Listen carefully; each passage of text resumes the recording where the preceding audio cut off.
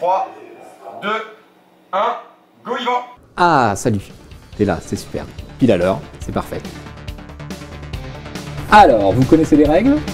Pas les vêtements, pas les mamans, quoi? Bah parce que... Euh, pourquoi euh, je- Parce que c'est comme ça, euh, c'est la vie, hein, mais voilà, il y, a- des vérités, elles te tombent du ciel.